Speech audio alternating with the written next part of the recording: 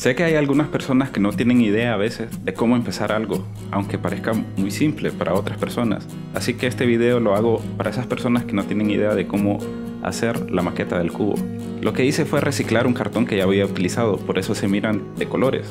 Para hacer esta maqueta van a necesitar cartón, una cuchilla. Lo importante es que esté bien afilada, porque si no está afilada, hacemos más fuerza y es más probable que nos lastimemos. También una regla cualquiera para medir, algo para marcar, marcador, lápices o tintas.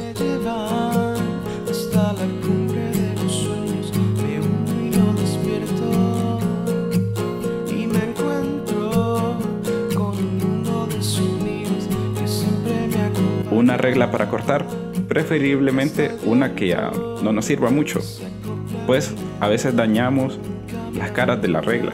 Al momento de cortar y utilizar la cuchilla hay que tener en cuenta lo siguiente, ponerla en la posición adecuada, porque si no vamos a dañar mucho la regla. Y al trazar, hacer el primer trazo muy suave, luego un segundo trazo un poco más fuerte y los siguientes trazos no tan fuertes.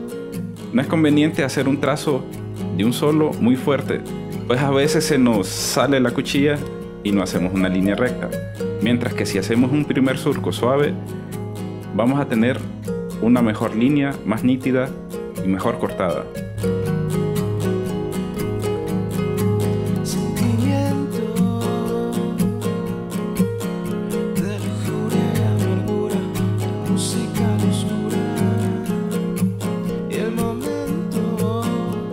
Al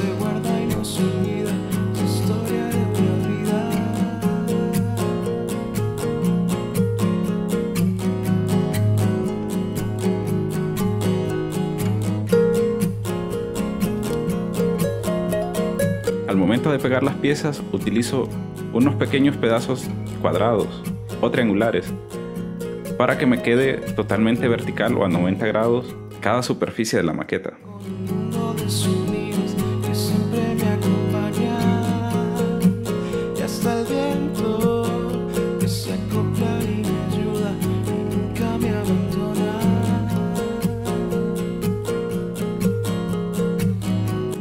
Para pegar las piezas yo utilizo silicón líquido.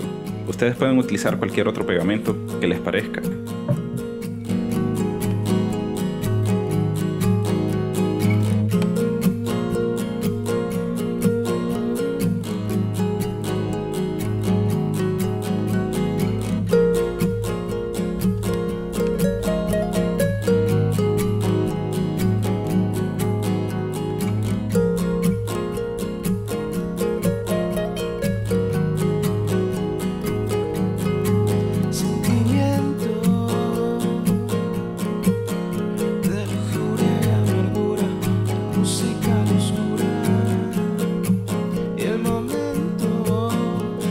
Esta maqueta no quedó tan nítida en el pegado ni en el corte, pero para el ejercicio que vamos a utilizar esta maqueta no es importante que esté nítida.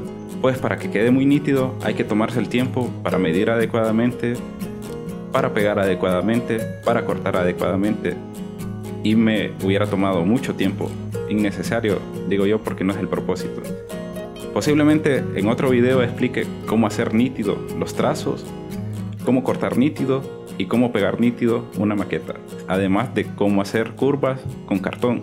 Sé que muchas personas, al igual que yo cuando comencé a hacer maquetas, no tenía idea de cómo cortar ni cómo hacer unas curvas. En un próximo video lo explicaré.